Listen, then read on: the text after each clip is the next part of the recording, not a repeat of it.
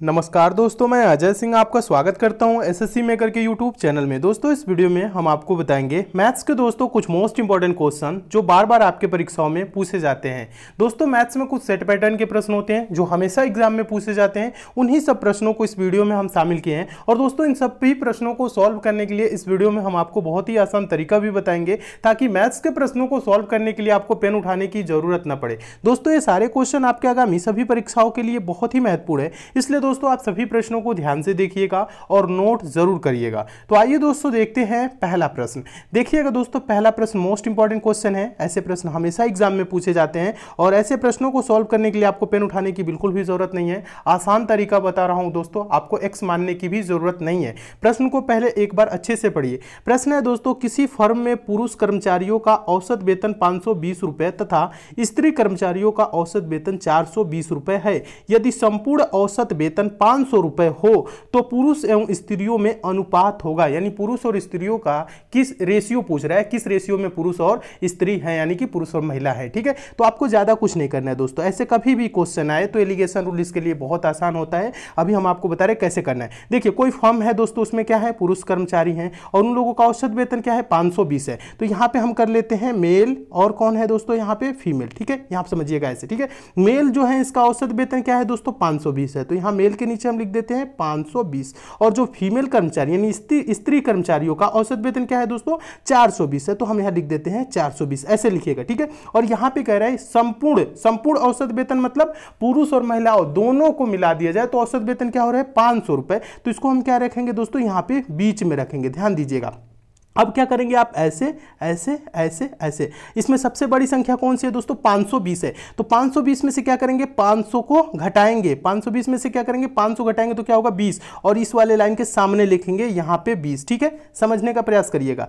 फिर उसके बाद से क्या करेंगे? 500 में से दोस्तों क्या करेंगे? इस 420 को घटा के यहाँ पे सामने लिखेंगे, ठीक है? इस सामने। तो 500 में से 420 घटाएँगे तो क्या होगा दोस्तों? 80 होगा, ठीक है? अब यहाँ पे जो रेशियो आया है दोस्तों, किसका आया है? मेल और फीमेल का आया है ये रेशियो कितना आया है दोस्तों? ध्यान दीजिएगा। मेल और फीमेल का 80 है। यहाँ पे ध्यान दीजिएगा, ये मेल का है और ये 20 किसका है? फीमेल का है, ठीक है? तो 80 और 20 का दोस्तों रेशियो आया है। आप चाहें तो इसे छोटा भी कर सकते हैं, लेकिन ऑप्शन में देखेंगे 80 अनुपाते 20 ऑप्शन नंबर बी में दिया है। तो आपका ऑप्शन नंबर बी दोस्तों क्या हो जाएगा? सही हो जाएगा। आप चाहें तो बीस चौक अस्सी फोर इज़ टू वन भी रेशियो कर सकते हैं। लेकिन ऑप्शन में अस्सी बीस दिया है तो यही ऑप्शन क्या हो जाएगा दोस्तों? सही हो जाएगा। तो दोस्तों, हम उम्मीद करते हैं, आप इस प्रश्न को बहुत अच्छे तरीके से समझ गए होंगे और इस टाइप के क्वेश्चन आपके एग्ज़ाम में आएगा तो आप अच्छे से सॉल्व कर लेंगे। और दोस्तों, ऐसे क्वेश्चन हमेशा एग्ज़ाम में पूछे जाते हैं। इस प्रश्न को आप नोट ज़रूर करिएगा, ठीक है? क्योंकि ये बहुत ही इंपॉर्टेंट है और एरीगेशन रूल हम उम्मीद करते हैं आप सभी लोग समझ गए होंगे।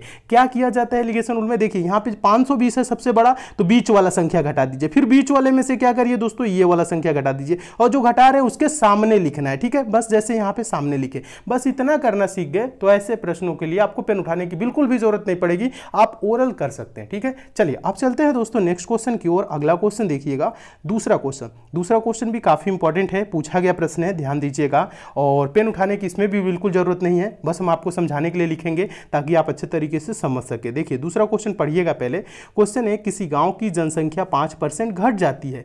यदि वह जनसंख्या तीन हज़ार अधिक होती तो जनसंख्या में दस की वृद्धि हो जाती। गाँव की मूल जनसंख्या ज्ञात करे। गाँव की मूल जनसंख्या क्या है? ये पूछ रहा है। ज़्यादा आपको कुछ नहीं करना है दोस्तों, यहाँ पे देखिए। मान लेंगे मूल जनसंख्या दोस्तों क्या है? वो हंड्रेड परसेंट है। कितना है दोस्तों? Hundred percent. यहाँ पे कह रहा है किसी गाँव की जनसंख्या पाँच परसेंट घट जाती है। जब पाँच घटेगा तो क्या होगा दोस्तों? पंचानवे होगा।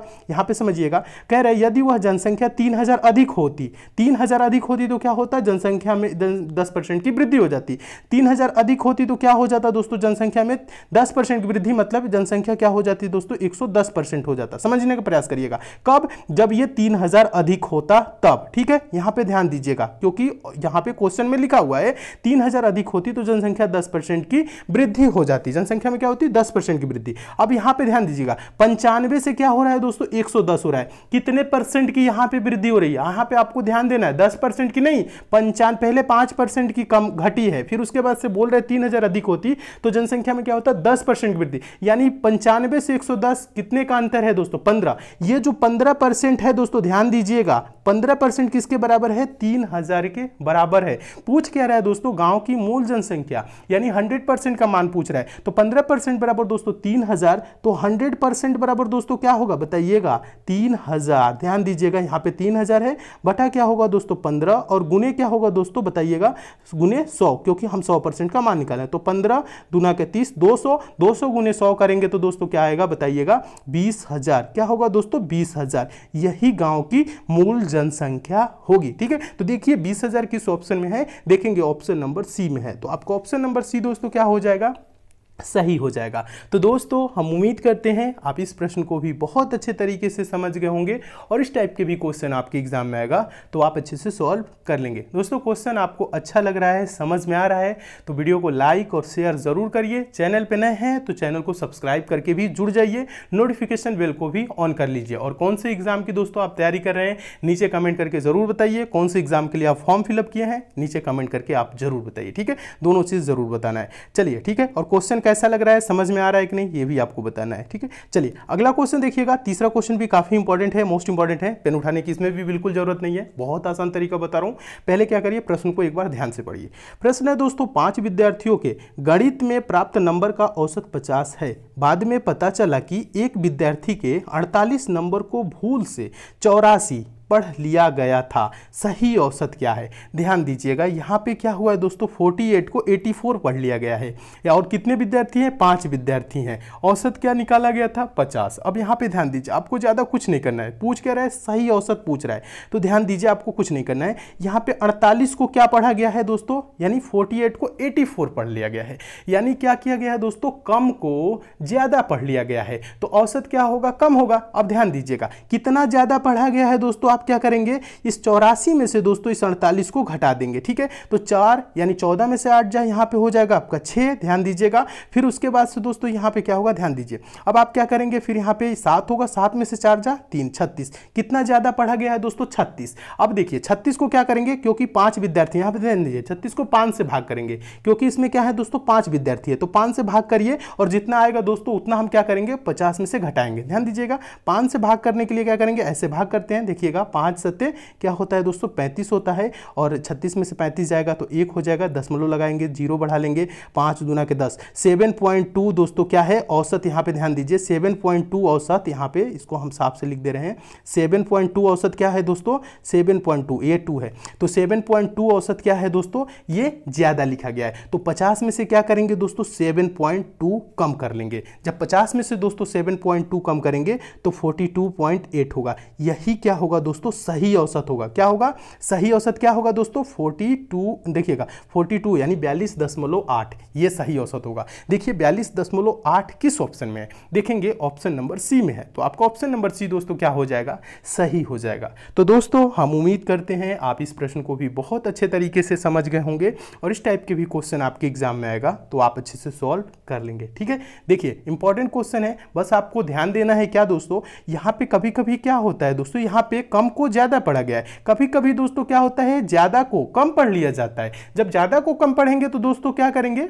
फिफ्टी में हम उसको जोड़ते। लेकिन यहाँ पे कम को दोस्तों क्या किया गया है? ज़्यादा पढ़ा गया है। तो हम क्या किए हैं? घटाए हैं, ठीक है? बस इतना आपको ध्यान देना है, ठीक है? चलिए, अब चलते हैं दोस्तों नेक्स्ट क्वेश्चन की ओर। अगला क्वेश्चन देखिएगा। चौथा क्वेश्चन चौथा क्वेश्चन दोस्तों हम आपको बता दें, ये क्वेश्चन मोस्ट इंपॉर्टेंट और मोस्ट रिपीटेड क्वेश्चन है। ऐसे प्रश्न हम आपको पहले भी कराए हैं, ध्यान दीजिएगा। और ऐसे प्रश्नों को सॉल्व करने के लिए एक छोटा सा हम आपको फॉर्मूला बताएँगे। फॉर्मूला आपको याद रखना है। पहले प्रश्न को एक बार अच्छे से पढ़िए। प्रश्न है दोस्तों यदि पाँच परसेंट की दर से दो वर्ष के लिए चक्रवृद्धि ब्याज तथा साधारण ब्याज के बीच अंतर दो सौ है तो मूलधन ज्ञात कीजिए। मूलधन कितना है, ये पूछ रहा है। तो ध्यान दीजिए, जब कभी भी क्वेश्चन आए दोस्तों, चक्रवृद्धि ब्याज और साधारण ब्याज, देखिएगा, दो वर्ष के लिए चक्रवृद्धि और साधारण ब्याज के अंतर संबंधित प्रश्न कभी भी आए तो इसके लिए दोस्तों एक फॉर्मूला है। फॉर्मूला क्या है दोस्तों? डी बराबर P R square upon hundred का स्क्वायर, ये फॉर्मूला है, ठीक है? डी मतलब दोस्तों डिफरेंस यहाँ पे इसको हम ऐसे कर दे रहे हैं, फॉर्मूला नोट कर लीजिएगा। डिफरेंस कितना है दोस्तों? अंतर कितना है? 225 तो हम यहाँ लिख देंगे 225 ठीक है? अब देखिए, बराबर, बोल रहा है पी यहाँ पे पूछ रहा है मूलधन, यानी प्रिंसिपल पूछ रहा है तो पी तो लिख देंगे। आर स्क्वायर है दोस्तों फॉर्मूले में आर स्क्वायर है तो आर मतलब रेट ऑफ़ इंटरेस्ट क्या है? पाँच परसेंट है। तो पाँच का स्क्वायर करेंगे तो क्या होगा दोस्तों? पच्चीस होगा तो यहाँ पे हम लिख देते हैं पच्चीस, ठीक है? डायरेक्ट लिख दे रहे हैं, समझने का प्रयास करिएगा। फिर उसके बाद से हंड्रेड का स्क्वायर है। हंड्रेड का स्क्वायर मतलब सौ गुने सौ सौ गुने सौ क्या होता है? दस हज़ार, ठीक है? ये दस हज़ार हो जाएगा। अब आपको कुछ नहीं करना है, कटा लेना है। कटाएँगे कैसे दोस्तों? यहाँ पे देखिए, कटाना हम आपको सेकंड वाले चैनल पे भी बताएँ एग्ज़ाम फिनिशर वाले पे। अगर आप एग्ज़ाम फिनिशर से नहीं जुड़े हैं तो उस चैनल से भी ज़रूर जुड़ जाइएगा। लिंक नीचे डिस्क्रिप्शन बॉक्स में है। देखिए, ये पच्चीस से कटेगा तो पच्चीस दह में दो होता है, लेकिन ये पच्चीस कम है, यानी पच्चीस नवा दो ये हो जाएगा नौ बार में, और नौ गुने दोस्तों क्या करेंगे? यहाँ पे ये नीचे भाग में है, बराबर उधर जाएगा? तो ऊपर क्या होगा? गुने में होगा। नौ गुने दस बराबर क्या हो जाएगा दोस्तों? नब्बे हज़ार, यानी पी बराबर दोस्तों क्या होगा? नब्बे हज़ार हो जाएगा। कितना होगा दोस्तों? प्रिंसिपल यानी कि जो मूलधन होगा, वो क्या होगा? नब्बे हज़ार। देखिए, नब्बे हज़ार किस ऑप्शन में है? देखेंगे ऑप्शन नंबर डी में है। तो आपका ऑप्शन नंबर डी दोस्तों क्या हो जाएगा? सही हो जाएगा। तो दोस्तों, हम उम्मीद करते हैं आप इस प्रश्न को भी बहुत अच्छे तरीके से समझ गए होंगे और इस टाइप के भी क्वेश्चन आपके एग्ज़ाम में आएगा तो आप अच्छे से सॉल्व कर लेंगे। ध्यान दीजिएगा दोस्तों, आपको बस करना क्या है, यहाँ पे ध्यान दीजिए। ये जो फॉर्मूला हम लिखे हैं डी बराबर P R square upon hundred का स्क्वायर ठीक है? इस फॉर्मूले को दोस्तों आप नोट कर लीजिए और याद ज़रूर करिए, जब कभी भी दोस्तों दो वर्ष से, दो वर्ष का चक्रवृद्धि ब्याज और साधारण ब्याज अंतर संबंधित प्रश्न आएगा तो उसके लिए क्या करेंगे? इसी फॉर्मूले फॉर्मूले का आप प्रयोग करेंगे, ठीक है? और इसमें तीन वर्ष के भी संबंधित क्वेश्चन आते हैं तो उसको दोस्तों हम किसी अलग वीडियो में हम बता देंगे कि तीन वर्ष वाला कैसे सॉल्व किया जाता है। चलिए, अब चलते हैं दोस्तों अगले क्वेश्चन की ओर। अगला क्वेश्चन देखिएगा, पांचवा क्वेश्चन पांचवा क्वेश्चन हम आपको बता दें दोस्तों, ये भी क्या है?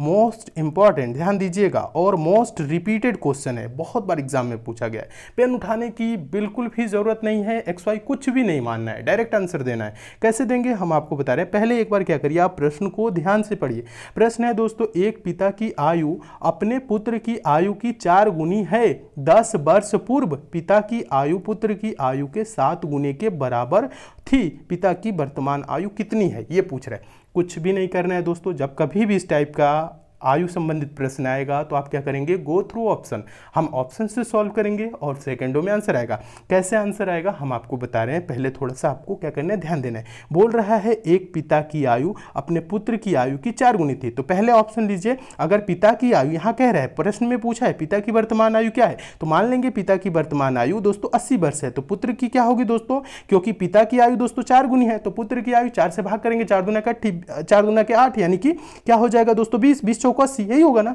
पुत्र की आयु क्या होगी? बीस वर्ष होगी, तभी तो पिता की आयु चार गुनी अस्सी होगी। ये चीज़ समझ रहे हैं? चलिए, फिर कह रहे हैं दोस्तों, दस वर्ष पूर्व। दस वर्ष पूर्व पुत्र की आयु क्या हो जाएगी? दस वर्ष हो जाएगी। और पिताजी की आयु क्या हो जाएगी? दस कम कर लेंगे तो सत्तर हो जाएगा। ये चीज़ समझ रहे हैं? बोल रहे हैं, दस वर्ष पूर्व पिता की आयु, पुत्र की आयु की सात गुने के बराबर थी। तो क्या दस का दोस्तों सात गुना? दस का सात गुना सत्तर होता है? हाँ होता है।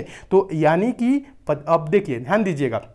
कभी भी आप गो थ्रू ऑप्शन सॉल्व करिए, प्रश्न पहले समझिएगा। कभी भी option go through option solve करेंगे, यानी ऑप्शन से सॉल्व करेंगे, जो ऑप्शन दोस्तों पूरे कंडीशन को सेटिस्फाइड करेगा, वही ऑप्शन क्या होगा दोस्तों? आपका आंसर होगा। और पहला ऑप्शन क्या कर रहा है दोस्तों? पूरे कंडीशन को सेटिस्फाइड कर रहा है। तो पहला ही आपका आंसर हो जाएगा। यानी पिता की वर्तमान आयु कितनी है दोस्तों? अस्सी वर्ष है। और पुत्र की वर्तमान आयु क्या है? बीस वर्ष है। दस वर्ष पहले पुत्र की आयु दस वर्ष और दस वर्ष पहले पिताजी की आयु सत्तर और सात गुने के बराबर थी। तो यहाँ पर कह रहा तो बराबर भी है। यानी पूरे कंडीशन को सेटिस्फाइड कर रहा है। तो पहला ऑप्शन क्या हो जाएगा दोस्तों? सही हो जाएगा। तो क्या दोस्तों, इसके लिए आपको पेन उठाने की ज़रूरत है? बिल्कुल भी ज़रूरत नहीं है। एक्स मानने की कोई ज़रूरत नहीं है। और हम उम्मीद करते हैं दोस्तों, आप इस प्रश्न को बहुत अच्छे तरीके से समझ गए होंगे और इस टाइप के क्वेश्चन आपके एग्ज़ाम में आएगा तो आप अच्छे से सॉल्व कर लेंगे। और एक बात और बता दूँ दोस्तों, अगर आप मैथ बेसिक से ज़ीरो लेवल से और चैप्टर वाइज पढ़ना चाहते हैं तो सेकंड वाले चैनल दोस्तों एग्ज़ाम फिनिशर से ज़रूर जुड़ जाइएगा। एग्ज़ाम फिनिशर का लिंक हम नीचे डिस्क्रिप्शन बॉक्स में दे दिए हैं। लिंक पर क्लिक करके चैनल को ज़रूर सब्सक्राइब करिए। नोटिफिकेशन बेल को भी ऑन कर लीजिए। उस चैनल पर दोस्तों बेसिक मैथ पार्ट वन से लेकर पार्ट फाइव तक हम कंप्लीट किए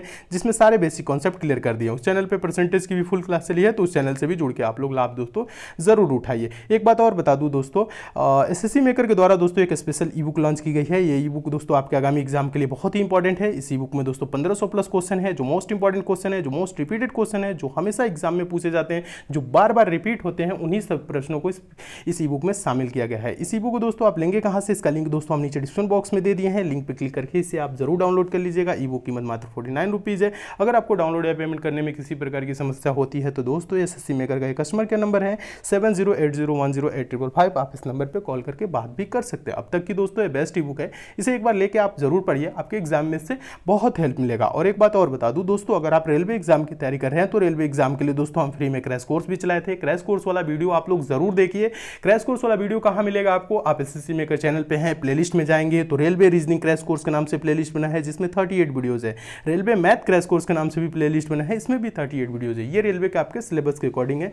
तो इसे एक बार दोस्तों आप अच्छे से ज़रूर देखिए। मन लगा के दोस्तों अच्छे से प्रिपरेशन करिए। कहीं पर भी समस्या आती है तो उस समस्या का समाधान हम ज़रूर करेंगे। बस आपको क्या करना है? मन लगा के अच्छे से पढ़ना है। और ये जो क्रैश कोर्स है, इसे आप ज़रूर कंप्लीट करिएगा। इसमें प्रीवियस ईयर के सारे इंपॉर्टेंट क्वेश्चन कराए हैं, जो हमेशा एग्ज़ाम में रेलवे में पूछे जाते हैं, वो सारे प्रश्न कराए तो क्रैश कोर्स वाला भी वीडियो आप लोग ज़रूर देखिए। कौन से एग्ज़ाम की तैयारी कर रहे हैं, ये भी कमेंट करके आप बताइए। और कौन से एग्ज़ाम के लिए आप फॉर्म फिलअप किए हैं, ये सारी चीज़ हमको, आप लोगों को क्या करना है दोस्तों, हमें बताना है, ठीक है? बता देंगे ताकि उसके सिलेबस के अकॉर्डिंग हम आप लोगों को पढ़ाएँ। और बहुत जल्द ही आप लोगों के लिए एक सरप्राइज़ भी रहने वाला है, आप लोगों के लिए बताएँगे क्या सरप्राइज़ रहेगा। पहले क्या करना है दोस्तों, आप लोगों को मन लगा के अच्छे से तैयारी करिए, ठीक है? चलिए, वीडियो कैसा लगा कमेंट करके ज़रूर बताइए। अच्छा लगा है लाइक शेयर करिए। चैनल पर नए हैं तो चैनल को सब्सक्राइब करके नोटिफिकेशन बिल आपको ऑन करके ज़रूर जुड़ जाइए। तो मिलते हैं दोस्तों अगले वीडियो में और भी इंपॉर्टेंट प्रश्नों के साथ। तब तक के लिए दोस्तों, धन्यवाद।